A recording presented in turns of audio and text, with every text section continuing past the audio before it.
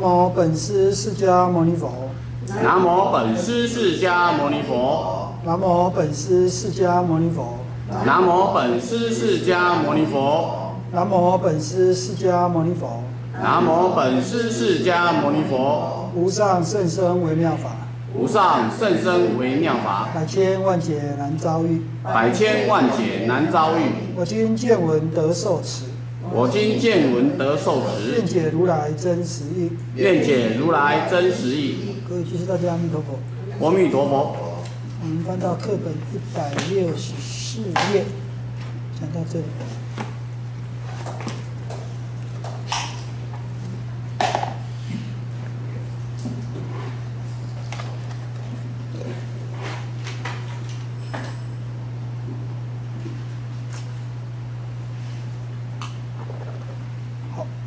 看到苦者求不得，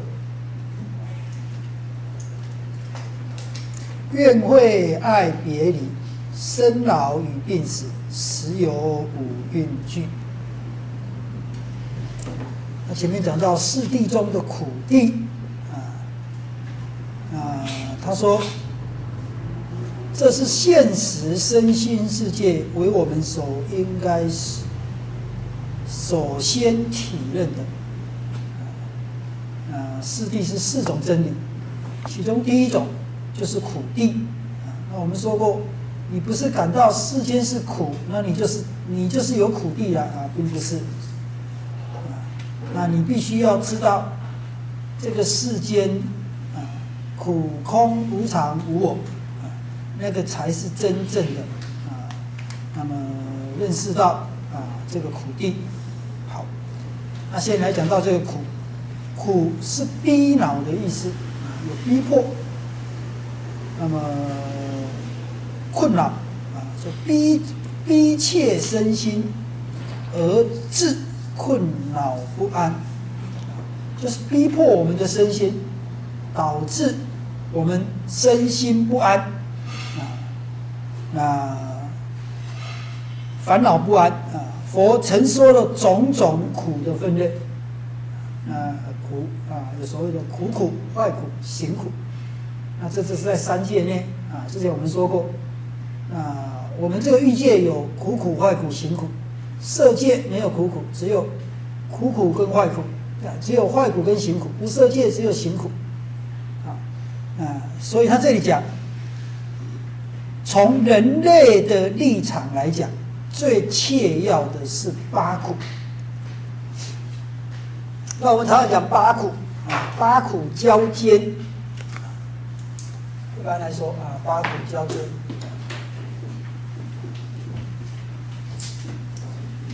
就是八种苦互相的、互相的来逼迫我们。但其实啊，八苦一般我们讲。这个苦啊，这里讲到这个苦，其实都是由五蕴身心而来啊。其实，那其实讲起来是七苦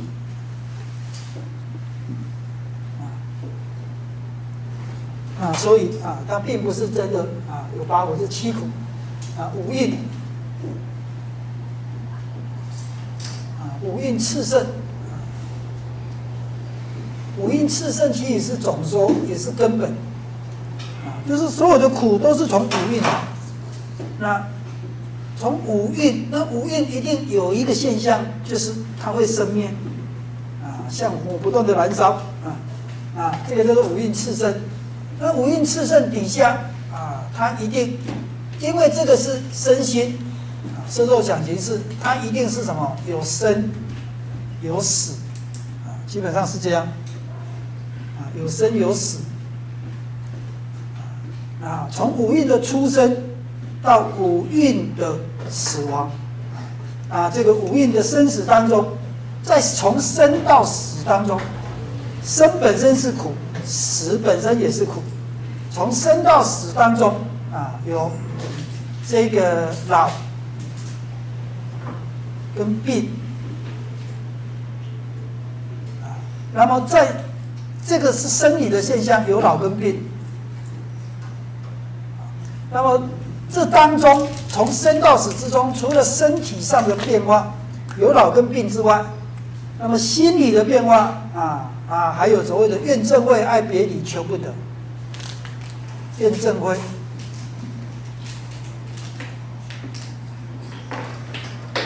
爱别离。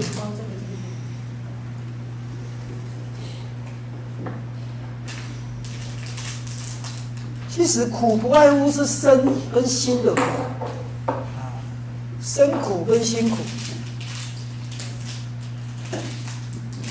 不外是这样，因为五蕴就是身心的结构，就是身心的结构，所以不外是身的苦跟心的苦啊，生老病死、怨憎会、爱别离、求不得，主要是这七种。那我们一般就把它叫做八苦啊，包括五欲炽盛家。好，那我们来看，他说，从人类的立场，最切要的是八苦。第一个啊，他先讲所求不得啊，从这个心理上的来讲啊，求不得，怨憎会，爱别离。无论是名誉、权位、眷属、财富，啊，就是我们希求的这些东西，这是人人所希求的，就是希望追求拥有的，啊，我们所希望拥有的东西，努力去追求的东西，可是却常常之常常是求之不得。求不一定求得到，所以叫做求不得。希求而得不到是苦恼，有了得到了，希求它不是失去，没有努力在追求，这个过程是辛苦的。当求到了，怕它失去，也还是辛苦的。一旦失去了，那也是辛苦的啊，其实是这样。所以他说。有了得到了，希望他不致失去；或发发生困难而希望不要他，可是却不如心愿。求不得有两种啊，希望他希望拥有却不能拥有，希望不要有他却有啊。那么这个也是求不得啊，就是 希望不要拥有啊。说，比如说好下雨啊，像今天下雨。那么我希望不要下雨，可是它下雨了，啊，那求不得。那有些人好多天没下雨啊，希望它下雨，可是它又不下雨，啊，那也是求不得。啊，所以他就是，啊，不能如如自己的心愿的，啊，这个叫求不得。经上说，啊，这个经是指一足经，或叫做一品。那一品，啊，这个是。大概在佛陀还在的时候就结集了，啊，我们知道这个佛陀灭后，大家是结集经典，那个是阿含经啊，杂含法跟律啊，那就是戒律上的啊，那一般来讲最早的应该是八十颂律，经是杂含，好，那佛在的时候就结集了，啊，就是类似像法句经。像一品这样，一个寄送，一个寄送，把佛当时啊，把佛当时，那么就说的一些法，用简单的句子，已经在民间流传了，啊，那个是佛在的时候就解体了。那一品也是一品，就是啊，一般有时候叫翻译足经，这个是佛在的时候啊，就已经已经有解体的啊，就是一些说法的精要啊，那他引的是。异品啊，异品的这个 很多经论都有引啊，把可见这个是非常早啊。我们有大毗婆沙论引的啊，就是大毗婆沙论引的异品啊。那他是讲，他是这样写，他说经上说啊，就是这个异足经也叫做异品。他说去求诸异人，他是这样，去求诸异人，去求就是希求。去求诸欲，这个欲就是五欲，色、受、想、行、识，不是色、身、香、味、触啊。去求诸欲人，就是追求这些五欲的世间人啊。那我们希望希望希望娶漂亮的太太啊，嫁庄严的先生，希望有钱啊，希望听好听的歌，希望吃好吃的东西啊，这种种去求诸欲人，常起于希望。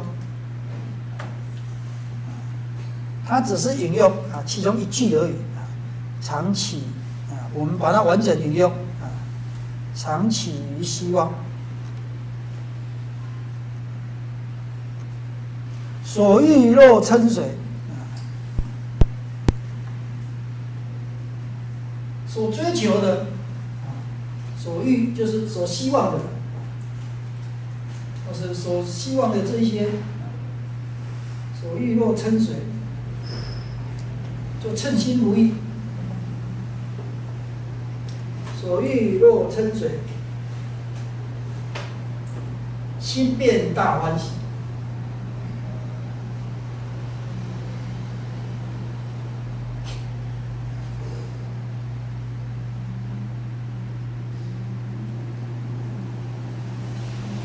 啊，一样啊，去求诸意人啊。那如果另外一个所欲若不水，就是这里讲的啊，所欲若不水，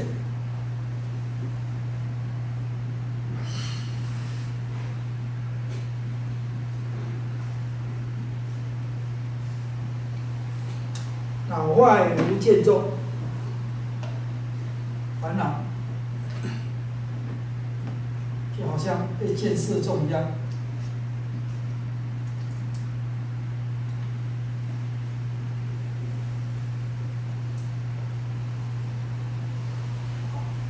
那么这个是啊，他引的这个《易足经》，我们叫《易品》，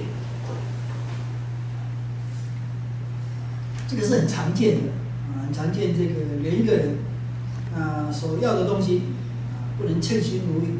可是这个是通常都是这样啊，人人世间不如意之事十之八九，十件哦，八件到九件都是不如意的啊。你常常从小。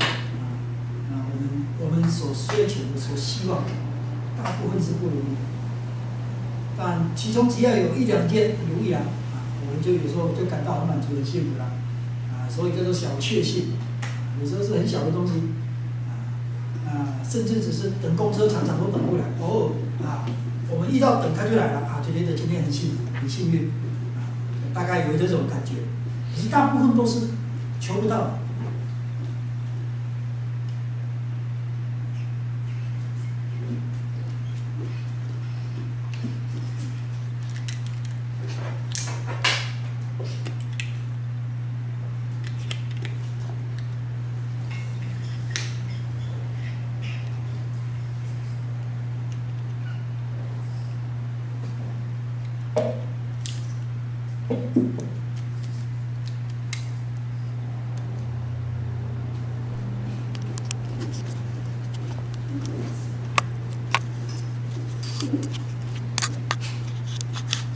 啊，这个就叫做求不得苦啊！人世间，我们这个世间求不得苦比较多，天上就没有了，失一得一，失死得死啊！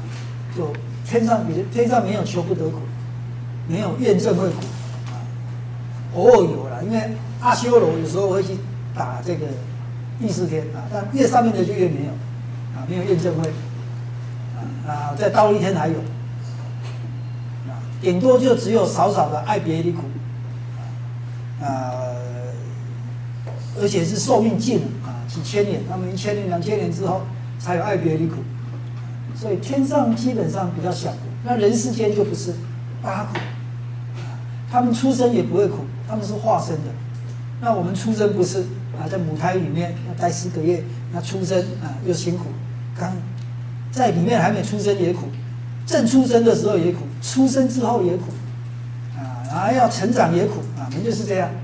但是天上不会，天上是化身的，啊，化化身，化身忽然间就出来了，啊啊，那也不会苦，也没有在母胎里面都没有，啊，他成长失一得一，失死得死，啊，也没有苦，啊，那也很少有验证会，那很久才有爱别离，所以天上比较比较没有这么多苦，但是因为天上比较不苦，所以天上就怎么样，不会想要离苦。对于苦地，对于三界的苦比较不能体会，没有办法体会，所以他不会，他很难有出离心。啊，所以才会说，在这个人间呢，要解脱、要成佛，都是在这个人间，在天上反而反而不容易。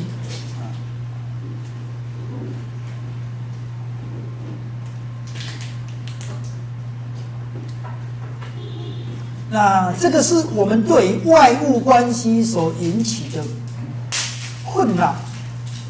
第二个怨憎会苦，第三个恩爱别离苦，这两个一起讲。他说，这是我们对社会关系所引起的困扰。那么求不得，求的都是无益的东西，就是外物。怨憎会爱别离是人情上的，人情上的痛苦。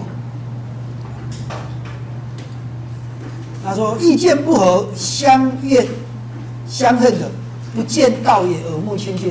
怨憎会在这个世间是很多的，人跟人之间，家庭跟家庭之间，国家跟国家之间，民族跟民族之间，都是这样。乃至于政党跟政党。啊通常都有这种啊，更有些是甚至宗教跟宗教之间啊，像回教跟这个基督教啊，那也也也战得很厉害啊。那早期这个佛教跟道教在中国啊，佛教跟道教啊，后来啊，在民国的时候啊，基督教跟佛教啊，反正也有宗教跟宗教，民族跟民族。国家跟国家，人跟人啊都有。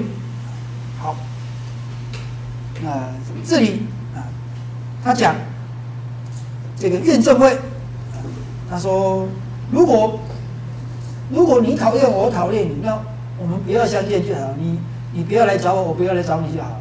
可是偏偏啊，偏偏人就很奇怪，互相讨厌的就一定要在一起。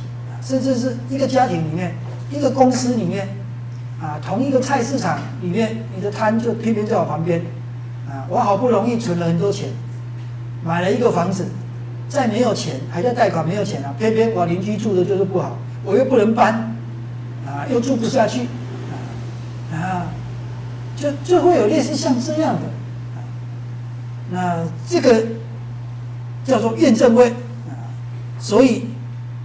不想见到啊，那么却一定要聚在一起，共住、共事、共谈，无法谅解，却又无法离开，真是苦恼之极。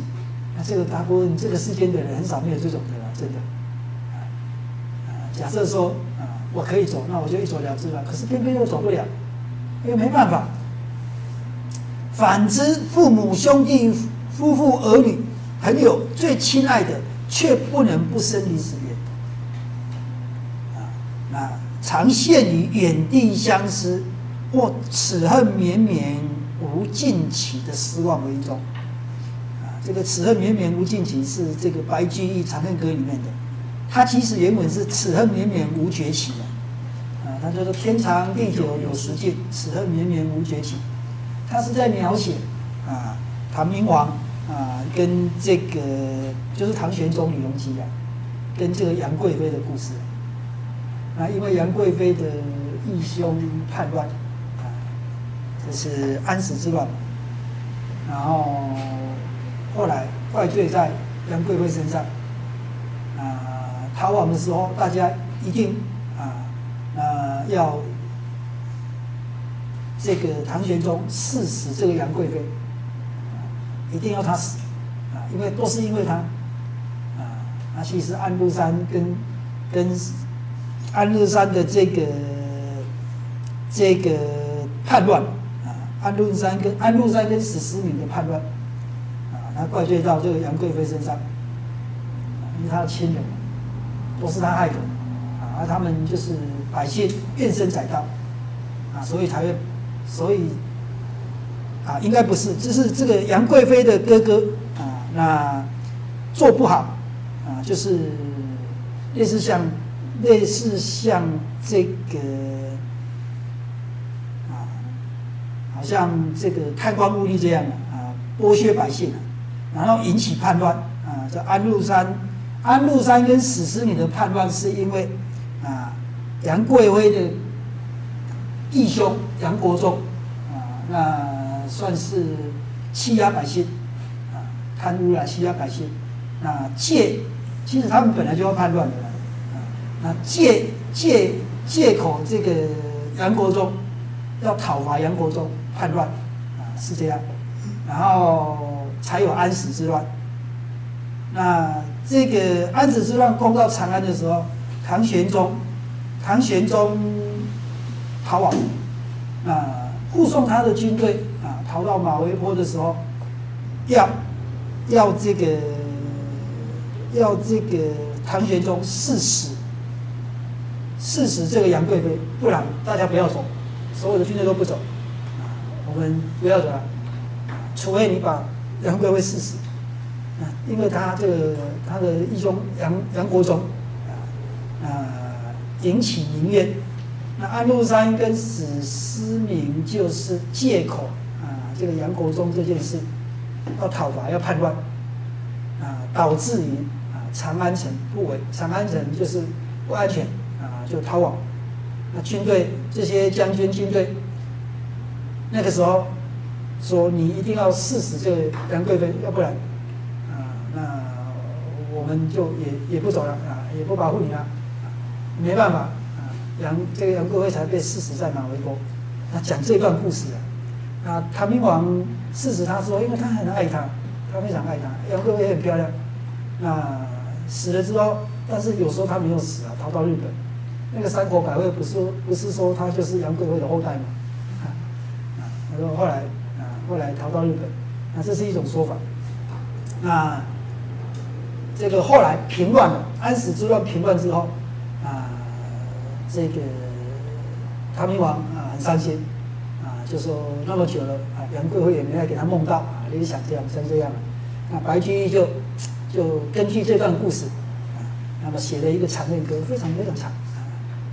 啊，然后后面有名的就是啊，天长地久有时尽，此恨绵绵无绝期，就最后两句，啊，啊，还有很有名的啊，在天愿为比翼鸟，在地愿为连理枝，啊，这这讲这个非常有名。那导师引用这个标志说爱爱别离，表示说这个是爱别离。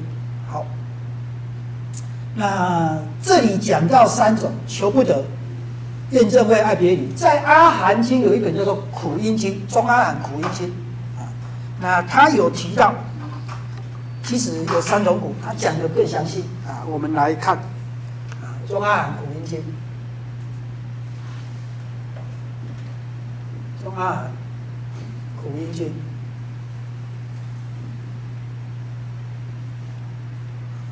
因就是五蕴嘛啊，其实因五蕴而苦啊，就是。五蕴炽盛苦，所以就是他讲到啊，他说这个足性子随起，第一个求不得苦啊，第一个我们来讲求不得苦。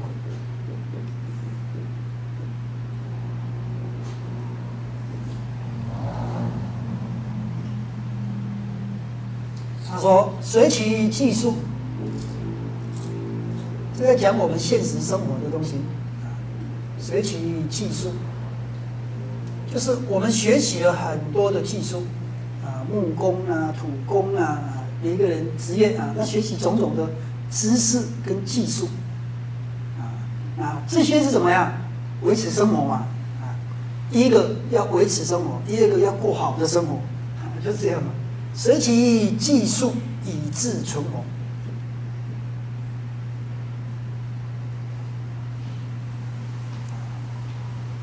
我们常常讲啊。这个我们就是主要有两个问题：生命的问题跟生活的问题。好，或做田业，或奉事王。随着你的技术跟知识啊，有时候啊耕田啊，四农工商啊不一定或做田业啊，或者啊用你的知识，用你的能力啊，那侍奉国王或奉侍王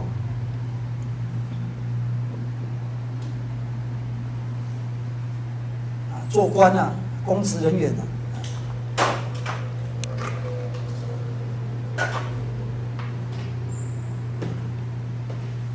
做如事业，求图钱财。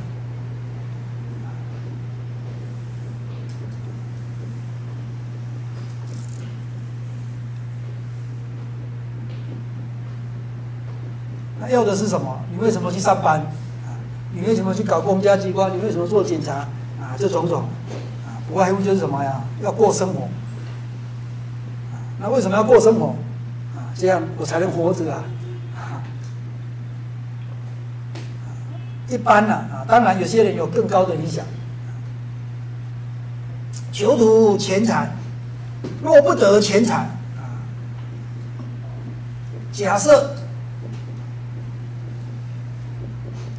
我用了这么技术，我我用了我的时间，我用了我的体力，我用了我的心力，我那么我去做了这件事，我目的要得到什么？但是后来却得不到了啊。若不得啊，他是要求图钱财，有的当然也是要求图名声啊，或是他只是啊要过得很自在而已啊，求图钱财。若不得钱财，变身忧苦，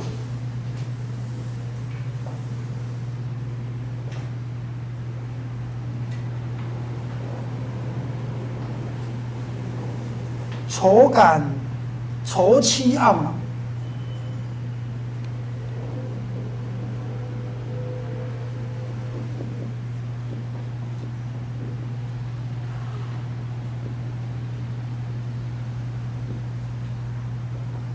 若得钱财者，啊，这个就是刚才讲的啊，诸欲求，诸诸去求诸欲人，长期希望。若得钱财者，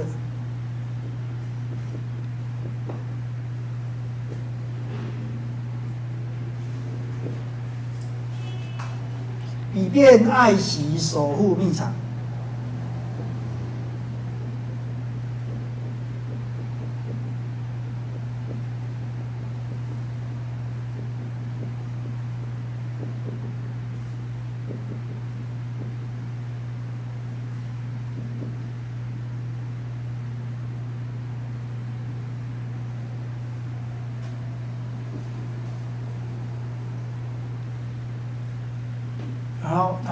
我们只是引用重要的了哈，那长他经文蛮长的，王师啊啊，若王师啊，若钱财王师啊，应该这样讲，要守护秘藏嘛啊，那被偷啊，应该是应该是这样，若钱财王师，若得钱财啊，若所得王师。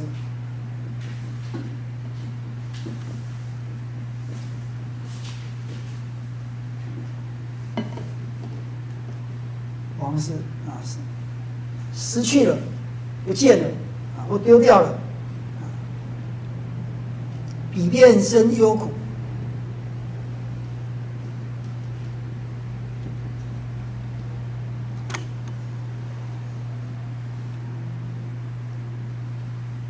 愁妻懊恼啊，变生忧苦，愁妻懊恼啊，一样，啊，写下。来。以变生忧苦，愁妻懊恼。愁妻就是忧愁啊，内心不安啊。那么这个是很明显的、典型的，叫做求不得苦，就是这个计啊。所欲若去求诸欲人，常起于希望；所欲若不随，脑外如见钟。啊啊，这个是。中阿含里面的求不得苦，好，那另外有一个中阿含里面啊，有一个怨憎会苦，好，他另外怨憎会苦，我们讲来看怨憎会苦，有点验证会苦，验证会苦讲的啊更深刻了。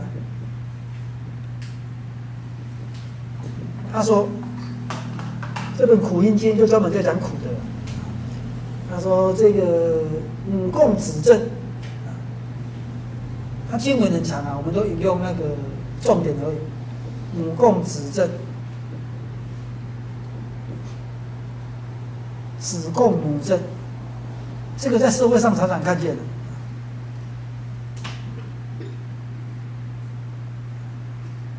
父子兄弟姐妹亲族辗转共振，母子父子都一样啊，但是母子的关系是比较好的，那一样啊，父子兄弟姐妹亲族之亲族啊，亲戚家族一样。辗转共振，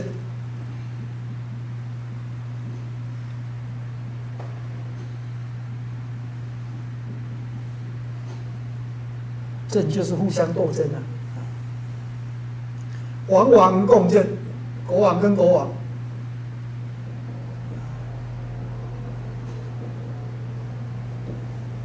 犯智啊，甚至是修行人也一样啊！修行人是犯智啊，婆罗门。泛智泛智共振，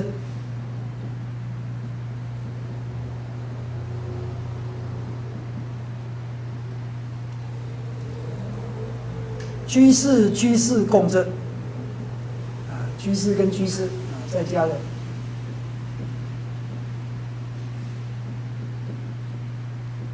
他把这个社会关系啊，彼此验证会。民民共振，国国共振，人民跟人民，国家跟国家，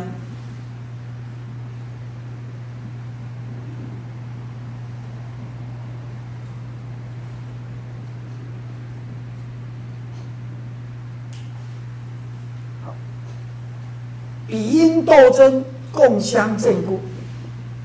啊，这些人因为斗争啊，互相憎恨。像现在选举到了啊，也很明显看得到啊，那政党跟政党啊，人民跟人民啊，彼因斗争，共相憎恶啊，互相憎恨，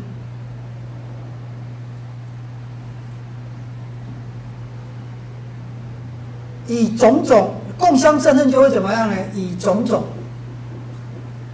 因为心里面憎恨，然后就会导致。啊以种种气障转相加害，转相加害，那互相伤害，行为言语啊，那互相伤害，或与拳莫以拳插食指，莫以杖刀杖打刀左啊，或与。他说：“拳啊，用拳头啊，拳叉啊，拳叉就是用拳头打你啊，石头丢你，食指用石头丢你，或以杖打刀左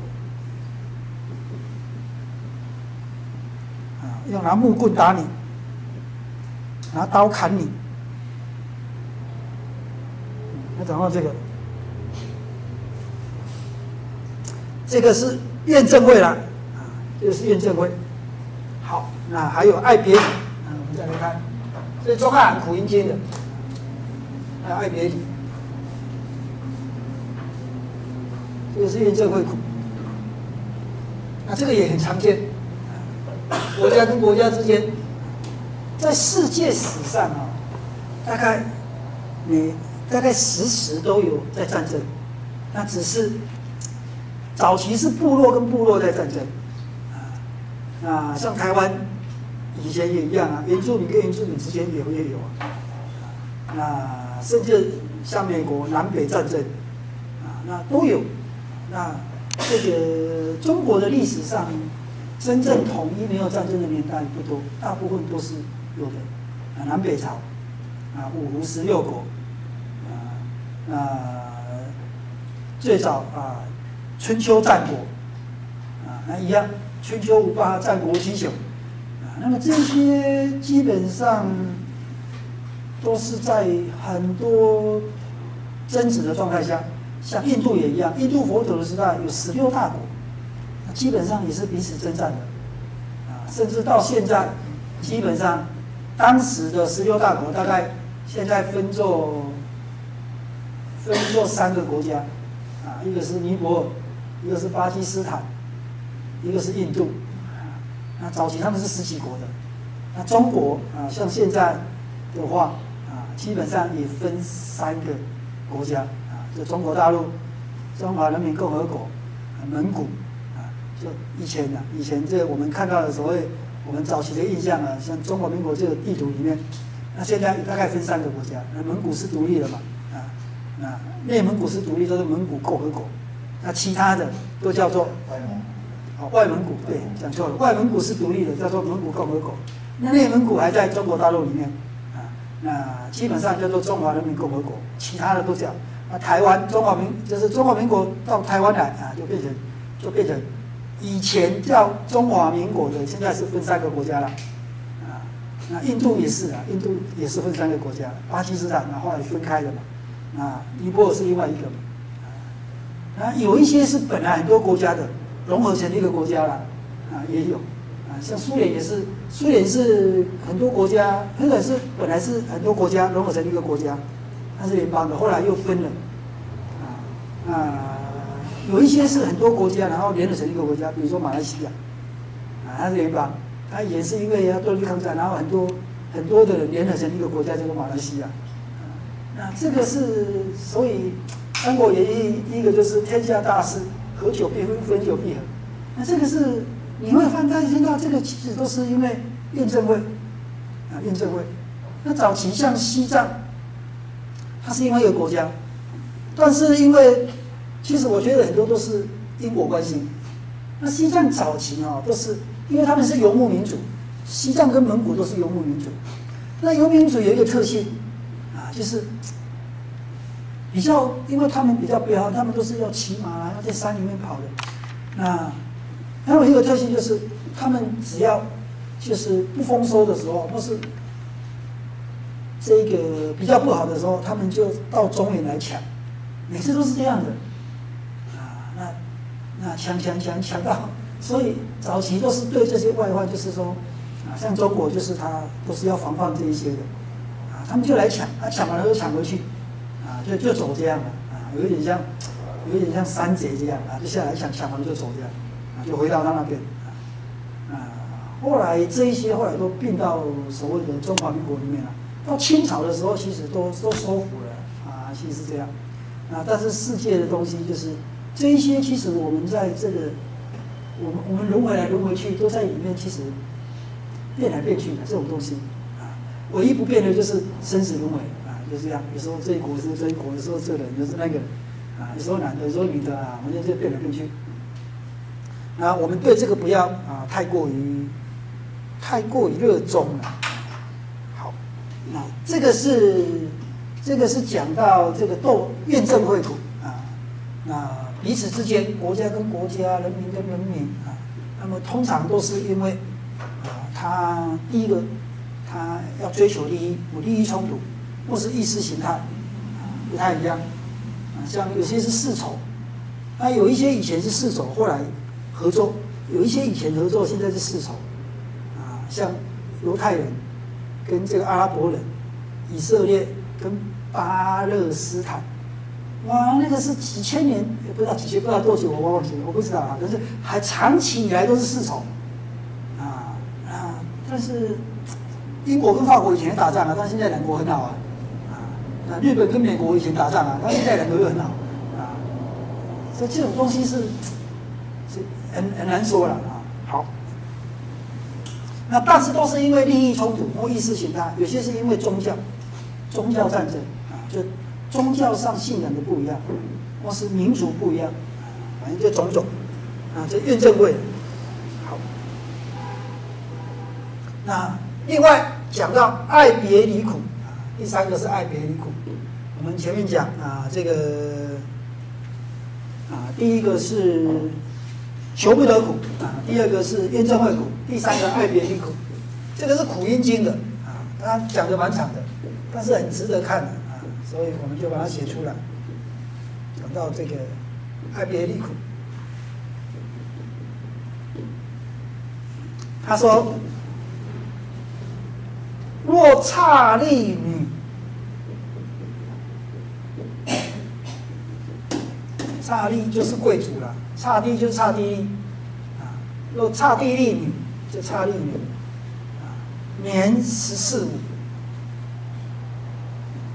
年纪是十四岁或十五岁啊。印度人是很早熟的啊，十四岁、十五岁就嫁人了哦。”中国早期十四岁、十五岁也都差不多，算是很，算是说有一些知识。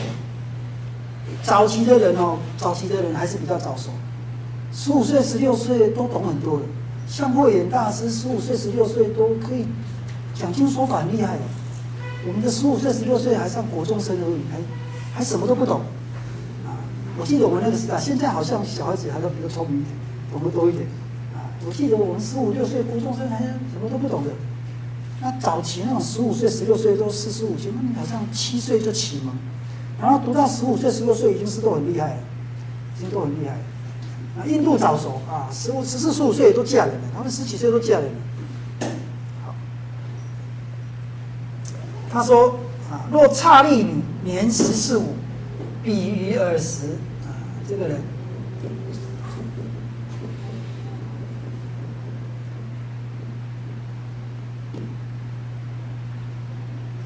美色最妙、最漂亮的时候，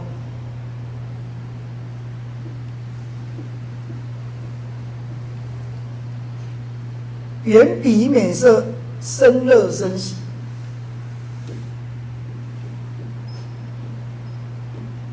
啊，就美少女啊，你就很欢喜。你有这样一个女儿，你也很欢喜。你有这样一个太太，你也很欢喜啊啊！当然是年纪很小啊，就女儿。若见比女，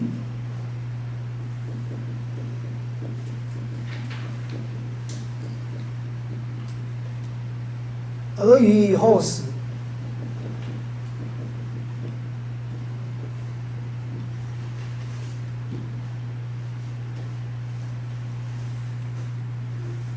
极大衰老啊。甚至也讲到这个老病死啊，啊，极大衰老。但是这个其实是在讲啊，爱别离，寿命垂尽，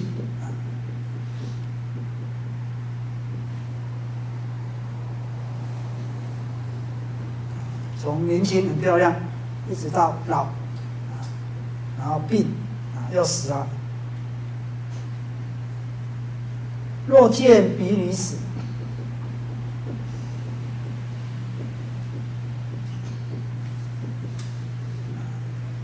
啊，这个是把老病死跟爱别离放在一起讲了啊。若见彼女死，若本有啊，他说，假设这个女，这个这个女，这个美少女死掉了，或是她老的时候死掉了啊，她老了，她病了啊，她快死了，或是她死掉了。若本有美色，彼面生欢。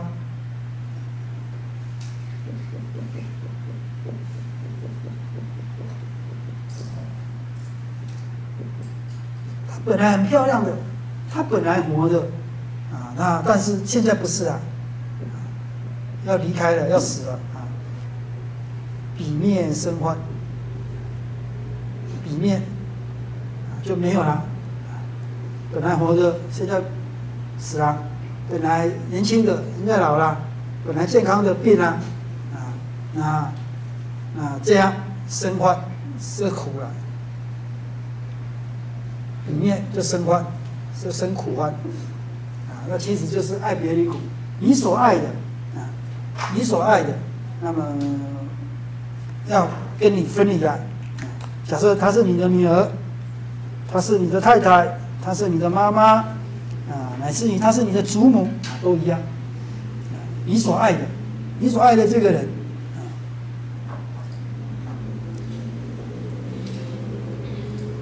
啊，这个其实是所谓的爱别离苦。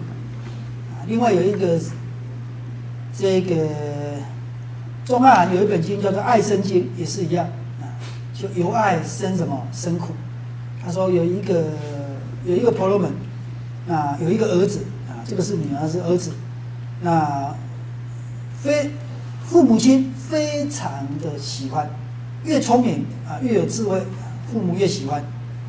那忽然之间啊，还是小孩子的时候，没多久就死掉了啊。那这个婆罗门啊，这父母父母啊啊，非常的痛苦，非常的痛苦，吃也吃不下。吃也吃不下，睡也睡不着，天天只想着他的儿子，想到就哭，想到就哭。那我见过很多居士哦，他的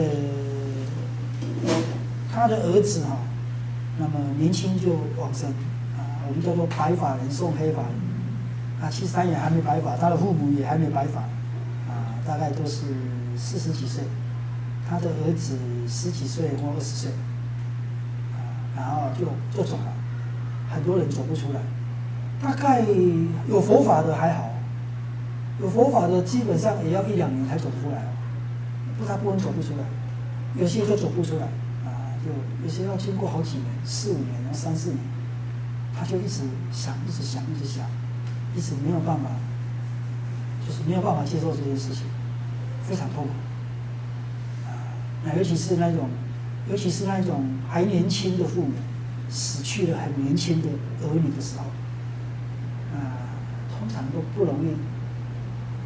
如果说你刚生出来没多久，那那个痛苦还没那么深，是大概养了十几岁，啊，你要二十岁了，很年轻，他又问题是他又很聪明，啊啊，如果还如果还是独生女啊，那就更痛苦了；或是独生子啊，那就更痛苦。我见过好几位居士都是这样，虽然虽然学佛，也知道无常，也知道这本来就是因缘，他可能业力，他可能到好的地方去，但是还是不能接受，啊，那最快都要一两年才走得出来，这个真的是很不容易。父母往生的基本上很少这样子，但是子女往生的通常都这样。啊这这个有时候是，就是这个就是爱别离。他就讲到有一个婆罗门就是这样啊，那他讲到啊，吃也吃不下，睡也睡不着，每次想到他儿子啊啊，就一直哭，就一直哭，然后回到家看到他儿子的房间空的，又一直哭啊，然后看到这个是儿子在用的东西，又一直哭啊啊，就这个就是爱别离苦。那么最明显的就是发生在亲人身上，啊，爱别离。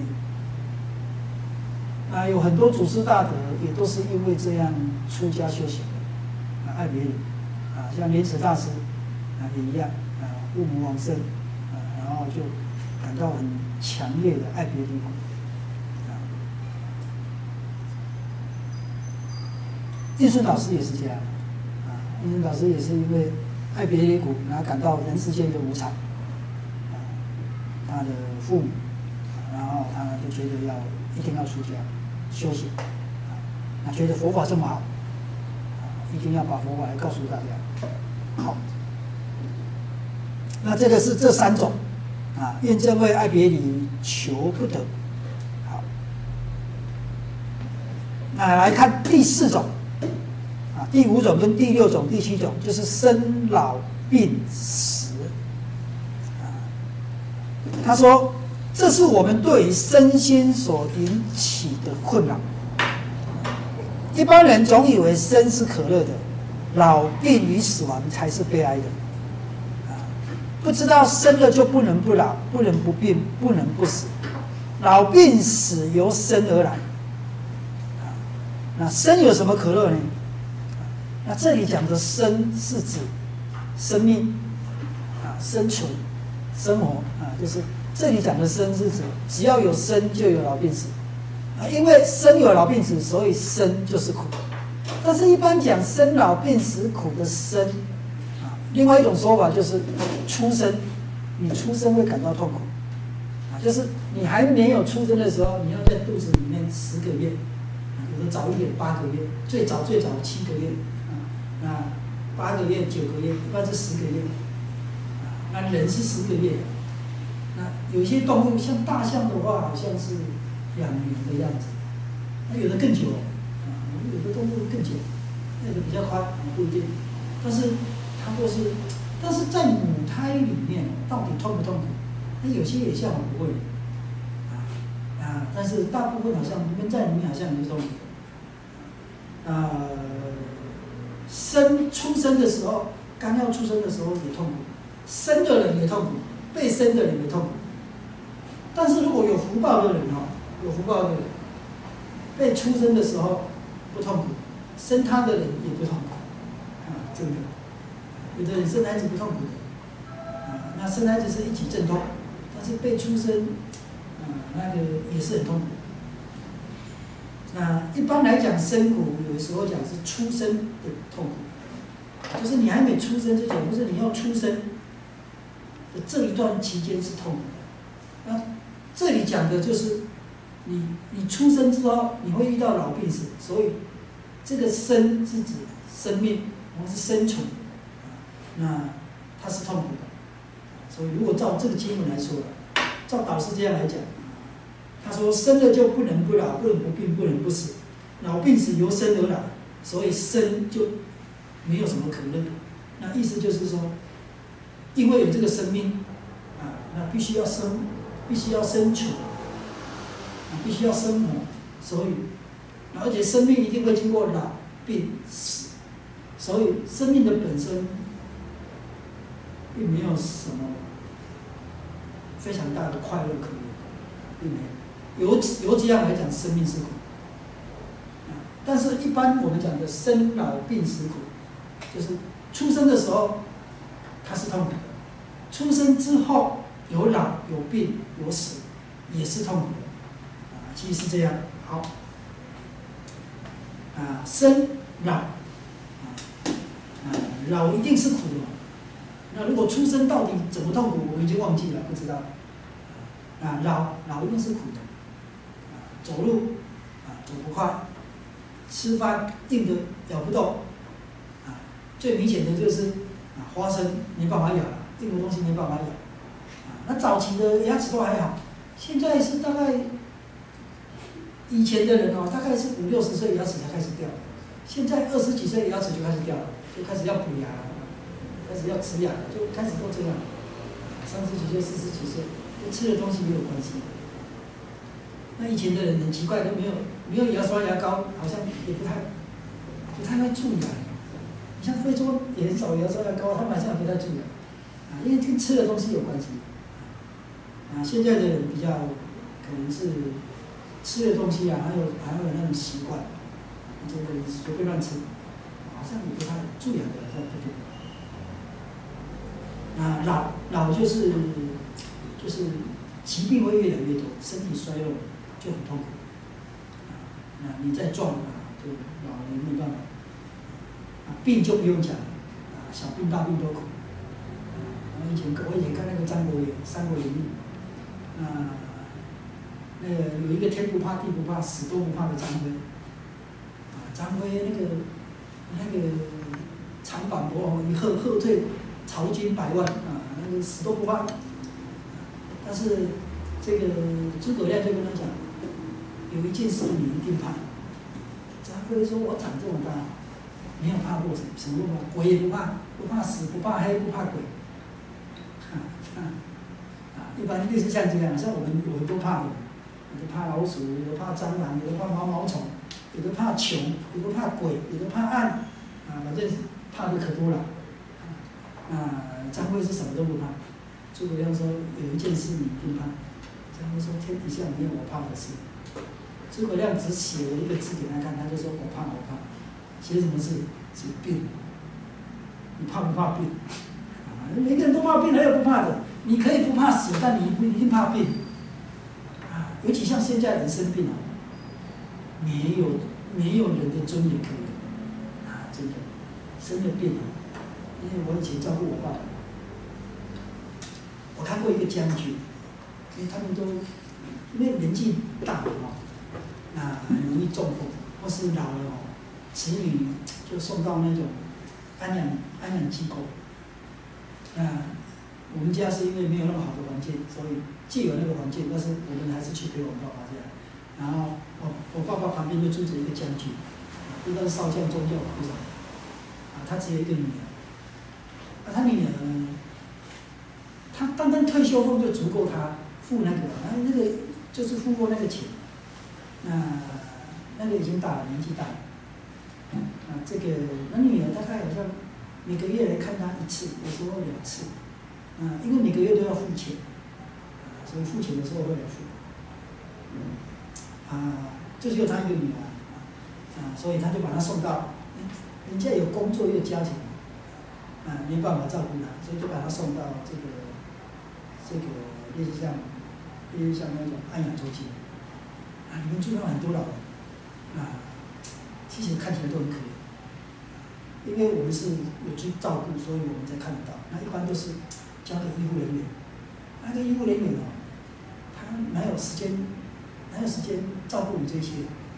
那，时间到了，他是统一的，啊，时间到了。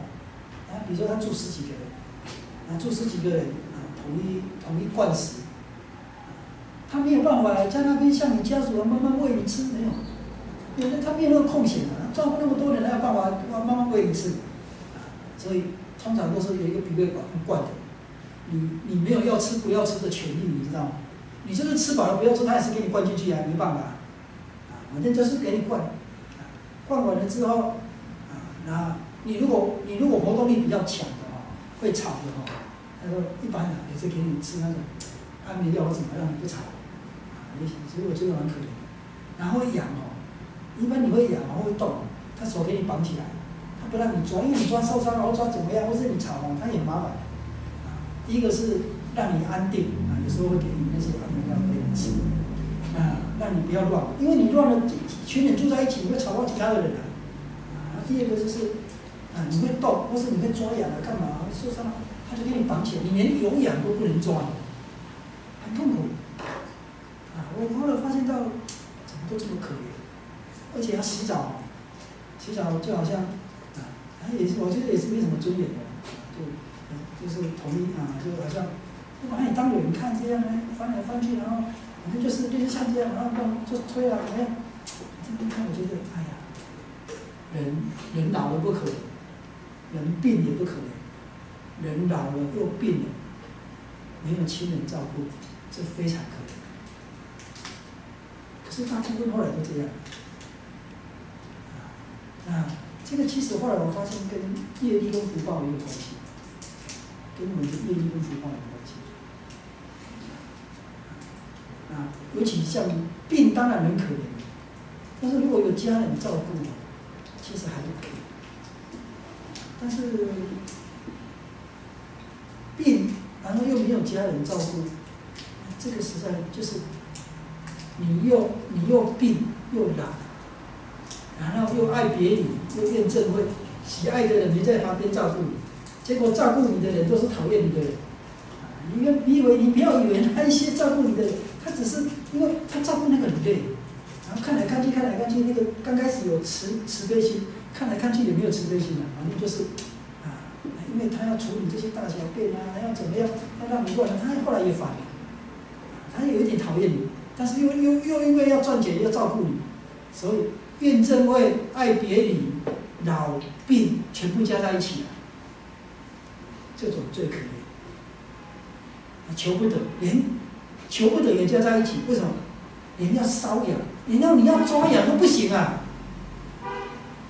即使是将军，就觉得那时候我在想，因为我们有读有读经嘛，就对这种很深刻。哎呀，你看在那个那些老人院或者安养中心那些啊，老病死也慢慢要降临，老病病症会爱别离求不得，全部加在一起，真的，我觉得那个是最可怜的。当然还有比那个可怜的啦，你在三六道那个就更不用讲。你像动物里面，一只黑熊，为了要被抽熊胆，被铁链关在笼子里面，一根棍子天天跟它抽。啊，法国那个养鹅那个鹅肝啊，就每天每次给，为了要让它的鹅肝很肥啊，每次灌啊，每次灌啊，在那里不能动，每次灌，每次灌。啊，我觉得这种也很残忍，怪不得啊，我觉得跟我觉得跟业都有关系。啊，你看人也是这样的，在那边就强迫灌死，啊，那个鹅也被强迫灌死。那有些有些动物。你像那个狐狸啊，或是那种皮啊，都被强迫扒掉；兔子啊，然后然后我们穿的那个貂啊，貂皮啊，他活活的扒皮呢，还掉在那里呢。那你看，那多残忍！那这种哦，这种这种痛苦，基本上三恶道是最苦的。地狱更不用讲了，三道里面的地狱，三恶道都苦。那人哦。人有些也会受三恶道的苦，那天理就没有。啊，我像我一般的，有些像我去看那个安养中心那一些，有些照顾好一点的还算好，那设备比较好的哈，那个那个那个卫生条件好的哈，进去还没有味道，还不那么脏，还有冷气。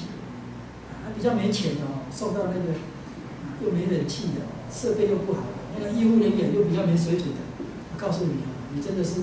求生，求生不能，求死不能，求生不得，求死不能，病又不会好，亲人又没有来看，然后这个喜欢的人没有在身边，因为他老了嘛，啊，讨厌你的人，照顾你的人都讨厌你，啊，真正就是就是即使他很孝顺，他也没在没有办法一直照顾你，为什么？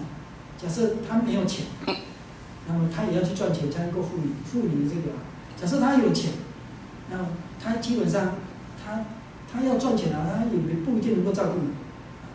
但是有一些当然也很孝顺，我也看过，啊，就每天来陪，啊，但是就是大部分大部分人走到这个地步，实在是没有尊严可言，没有尊严。所以病哦，你你躺在床上，人家叫你怎么样就怎么样，啊，你没有说不的权利。啊，所以有时候，我觉得病是最可怜的，死不可怜，死不可怜，老也还好，就是病。但是有些就是又老又病又穷，啊，这个是比较麻烦的。啊，又没有亲人，或是亲人没有能力，啊，没有福报的时候，真的是这些苦集中在一起了。啊给我印象非常非常深刻，这个是看这个世界的苦。不过大家不用听到这样害怕，为什么？因为这个都跟业有关系。我们现在努力修啊，我们不要担心说啊我会不会这样，我会不会落到那个地步，都不要担心这个。只要努力自己努力修啊，像我们也不担心了。啊，像在家里的子女啊，有兄弟姐妹啊，他不一定会照顾，就是出家人。啊，当然有些人有结婚了，像我们都没有，年轻就出家了。啊，等到我们年老的时候，然后又有子女？啊，那有徒弟的还好，有徒弟的还会照，有时还会照顾他，但也不一定。啊，要有福报，像医生导师，啊，这有福报，不用担心，大家抢着照顾他。以前我们要服也要做他的侍者，还要还要排队，还要登记呢，还不是每个人都可以照顾他呢。你看。有福报的人就是这样，那你也不要说，那我们没有办法修到他那个样子。你只要现在努力修善业，不会有这种情形出现，真的。那不用担心，这跟业有关系，要对因果有信心。所以我们也不担心啊，以后老了怎么办？以后病了怎么办？以后没钱怎么办？以后怎么办？以后还没到，现在怎么办？现在要怎么做？现在怎么做？先想清楚，就不用去担心以后怎么办。先知道现在怎么做，就不用想以后怎么办。你现在都不做，那当然啊，现在没有，当然以后怎？以后没钱怎么办？那以后没钱，那个时候还没到。现在努力去赚钱，以后就不会没钱了，那不简单啊？那所以，那这个不要为未来还没发生的事忧苦，这些是不需要啊，因为凡事都有因有果，你努力把现在要做的事做好。我们先下课，再休息一下。